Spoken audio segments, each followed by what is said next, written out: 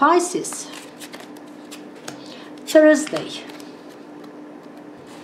July 13th, with the Hanged Man, the Chariot, influenced by Three of Pentacles this is something which you have established okay? Three of pentacles is kind of these first foundations for something which will grow. And today you are very comfortable with that. Doing nothing. You are just happy because of that what you have started. This is new career and you know you're gonna stay with this career all your life okay? You have just started still a lot to learn but that is the feeling today. That will stay in your life from now on. If you bought a house could be or you redecorated something okay? That's fine now. You, you feel good there. You are comfortable now in this flat in this house. You see what i'm saying?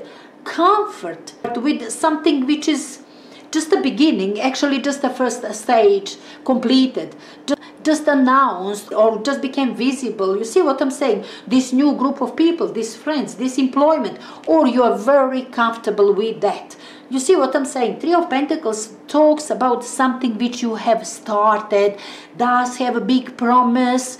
It's possible to build with that, to develop with that further on as much, as long as, as much as you like, as long as you like. You see what I'm saying? That kind of promising energy. Your new knowledge, new skill, new group of people, whatever, whatever. It can grow further, okay?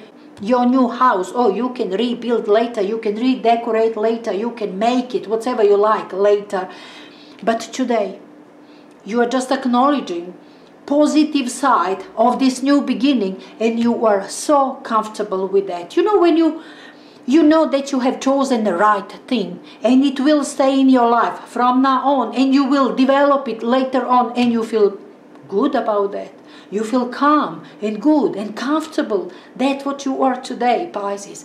Calm, good, comfortable, cozy, cozy. Enjoy it.